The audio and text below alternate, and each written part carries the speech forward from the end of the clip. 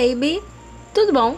No vídeo de hoje eu vou ensinar vocês a transformar esse móvel que tá horrível, tá sujo, tá esquisito mesmo, que eu ia jogar fora, num lindo aparador espelhado como esse que você tá vendo aqui. Ficou curioso como é que faz? É bem fácil, mas para você aprender tem que assistir esse vídeo até o final, ok? Então se bora! Hey girl, open the walls, play with your dolls. Então você vai começar pegando um pano e tirando toda a poeira.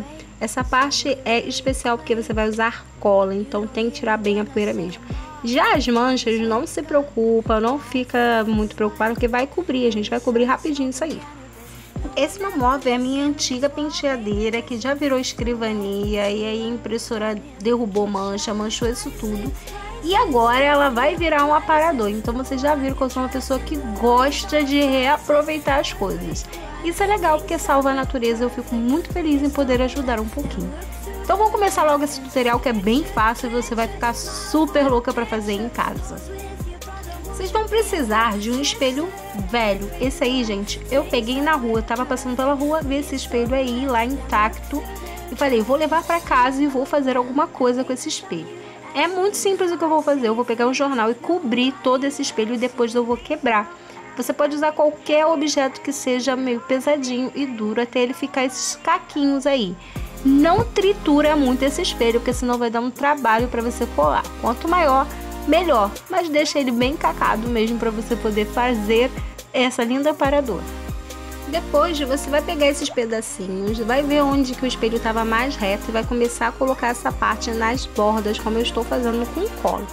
Essa cola que eu usei, gente, é aquela cola para cano de PVC.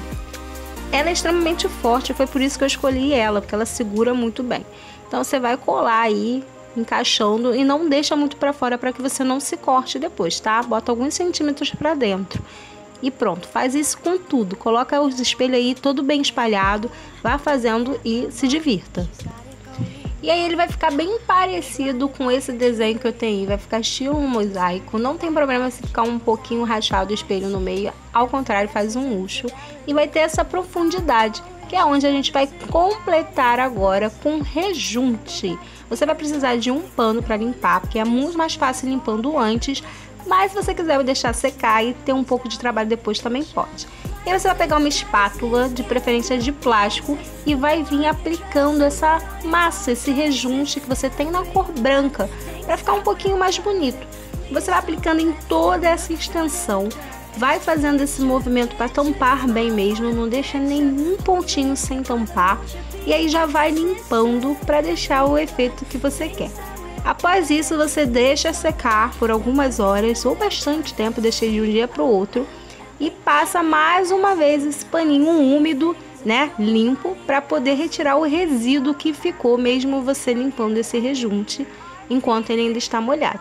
É como se você estivesse fazendo na parede, só que você vai fazer aí no caso na mesa. Depois que tiver seca, e limpa, ela vai ficar muito parecida com essa que eu fiz, bem igual mesmo.